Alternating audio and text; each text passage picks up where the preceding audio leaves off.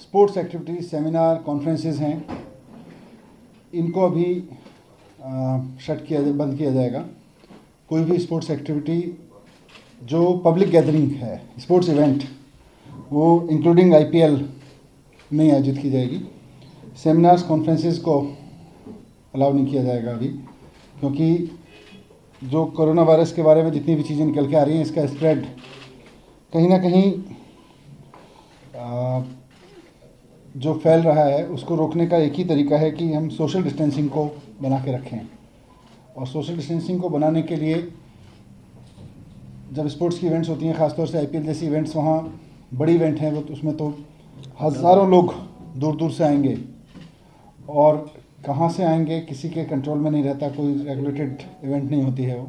या इस तरह की कोई भी इवेंट जहाँ दूर दूर से अलग अलग डायमेंशन से डायरेक्शन से लोग आते हैं। तो उनको भी सरकार ने बैन रखने का फैसला किया है। और,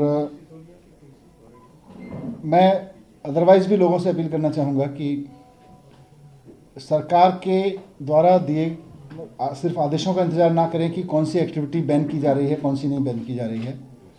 कोरोना वायरस को रोकना हम सबकी ज़िम्मेदारी है। हम सबको मिलके दुनिया के सारे देशों में समाज लीडरशिप हर सेक्टर की लीडरशिप सरकार सब मिलके इससे लड़ रहे हैं।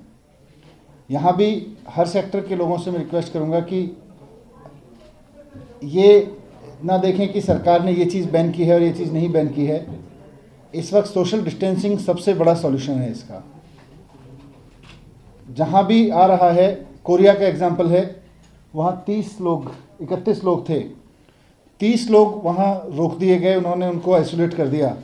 इकतीसवां आदमी जो आइसोलेट नहीं हो पाया उसकी वजह से वहाँ दस हज़ार लोगों को स्प्रेड हो गया वो। तो एक आदमी की वजह से भी वो क्योंकि कौन कैरियर होगा कोई आइडिया नहीं है।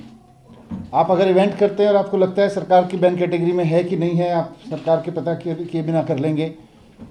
लेकिन आप सोचिए कि कोई एक आदमी भी उसका कैरियर हो सकता है। इसलिए सरकार की ओर से अभी ऑर्डर दिए गए हैं कि बड़ी इवेंट्स कॉन्फ्रेंसेस स्पोर्ट्स की गैदरिंग्स, ये सब दिल्ली में बैन रहेंगी। लेकिन किसी भी इवेंट में जहाँ लोगों को लगता है कि यहाँ डिफरेंट डायमेंशन से लोग आ रहे हैं और यहाँ कोई रेगुलेटेड नहीं है, कोई आइडिया नहीं है तो खुद इस तरह की इवेंट्स को, इस तरह की गैदरिंग्स को अवॉइड करें। कई लोग सोच रहे होंगे कि इतने बड़े बड़े फैसले लेने की ज़रूरत है कि नहीं है। दुनिया के उन देशों में जहाँ प्रिवेंटिव मेजर्स लिए गए, प्रिवेंटिव मेजर्स लिए गए। वहीं इसको रेगुलेट किया जा सका है, वरना ये फैल रहा है। हमने नेक्स्ट ऑर्डर तक अभी अगले ऑर्डर तक बंद कर दिए हैं। हमने सभी डीएम्स और एसडीएम्स को कहा है कि हेल्थ डिपार्टमेंट्स की ओर से जितने ऑर्डर्स आ रहे हैं कोरोना वायरस को लेके एपिडेमिक एक्ट के तहत, इन सब का स्ट्रिक्ट फॉलो कराएँ, पूरे अपने अपने क्षेत्र में नज़र रखें। इसके वायलेशन में कोई एक्टिविटी हो रही हो तो उस पर तुरंत एक्शन लें। ये सब डीएम्स को ऑर्डर दिए गए हैं।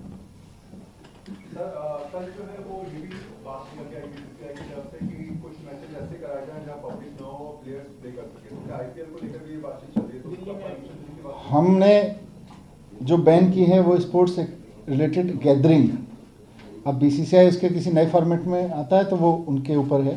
बट स्पोर्ट्स एक्टिविटी में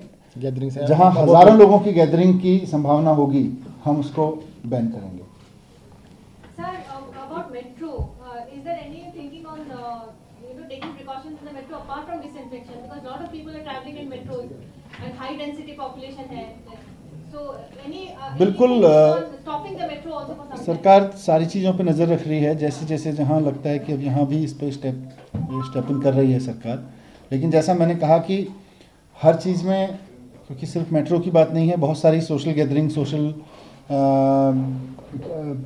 लोगों के वो हैं संपर्क। तो लोग खुद इस चीज़ को अवॉइड करें, ऐसी चीज़ों को और अगर कोई गैदरिंग आयोजित कर रहे हैं तो उसको भी अवॉइड करें उस तरह की। सिर्फ़ सरकार के ऑर्डर का इंतज़ार ना करें क्योंकि कोई चीज़ अनसेफ होती है, सबके लिए होता है। सबसे बड़ा एग्ज़ाम्पल जो कोरिया का है, इकतीसवें आदमी ने दस हज़ार लोगों को फैला दिया। सर, ये मार्केट जैसे करोलबाग हो गए चांदी चौक या और भी जो ऐसे मार्केट्स हैं, वहाँ पे भी क्या कोई मॉल के लिए तो कह दिया गया जो आप डिस्ट्रिक्ट में सैनिटाइज करें, लेकिन छोटे मार्केट्स के लिए भी एक सेकंड डिसइंफेक्शन के जो ऑर्डर किए गए हैं, वो सभी पब्लिक स्पेसेस के लिए अगर आपकी शॉप है तो आप भी डेली दिन में एक बार डिसइंफेक्ट ज़रूर करेंगे। बहुत सिंपल सोल्यूशन है हाइड्रोक्लोराइड वन परसेंट सोल्यूशन से आप उसको वाइप आउट कर दीजिए, साफ़ हो जाता है। कोई मुश्किल काम नहीं है। और मुझे लगा सभी लोगों को वॉल्ट्री भी करना चाहिए। जिनको हमने आदेश नहीं दिए, उनको भी करना चाहिए। मैं जैसे मनीष जी ने कहा, एक चीज़ ऐड करना चाहूँगा। किसी को कोई भी थोड़े से भी सिम्टम हो, हल्का सा भी सिम्टम हो तो वो चौदह दिन के लिए अपने आप को घर में रखें। पब्लिक के बीच में ना जाए बसेज में ना जाए मेट्रो में ना जाए। सिम्टम अगर आपको हैं तो self quarantine is the best thing मैं आपको एक चीज़ और बता देना चाहता हूँ, कई सारे लोग कह रहे हैं कि क्वारंटाइन फैसिलिटीज़ कितनी की है सरकार ने।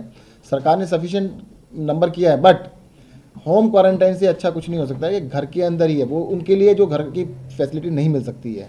तो अगर आपको कोई भी सिम्टम है फीवर है या आपको खांसी है स्नीजिंग है तो उसके लिए आपको इमीडिएटली पब्लिक में जाना बंद करना चाहिए और वो सबसे इंपॉर्टेंट है क्योंकि सिम्टम आने में कई बार एक वीक से दो वीक तक लग जाते हैं। फाइनली आपको बीमार पड़ने में। तब तक के लिए आप क्वारंटाइन कर लीजिएगा। तो इसमें अगर आईपीएल अगर फॉर्मेट चेंज करता है कि भीड़ नहीं होगी तो क्या आप अलाउ करेंगे? अभी अगर मगर तो उसकी बात बाद में वो तो बाद में।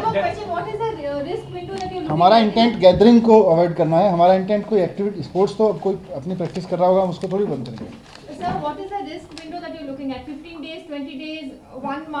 Sir, what is the risk window that you're looking at? 15 days, 20 days, one month uh, uh? नहीं देखिएगा अभी इनिशियली जो हमने स्टार्ट किया है कम से कम एक महीना आप मान के चलिएगा। आप यूरोप का एग्जांपल देख सकते हैं यूरोप में भी इनिशियली जो दिल्ली में या हमारे देश में बहुत कम केसेज हैं।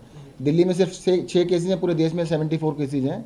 यूरोप में पंद्रह बीस दिन पहले इतने ही केसेज हुआ करते थे। पर अचानक देखिएगा इटली के अंदर पंद्रह हज़ार केसेज क्रॉस कर गया है। तो हमारे को बहुत ही कॉशियस होने की ज़रूरत है। ये क्योंकि स्प्रेड जब होता है तो मल्टीप्लाई करता है ऐड नहीं करता है। तो मल्टीप्लीकेशन जब होता है तो हमें कम से कम एक महीना मान के चलना पड़ेगा देन वी कैन अभी इस बारे में लेकिन कुछ। अभी तक नहीं है। छः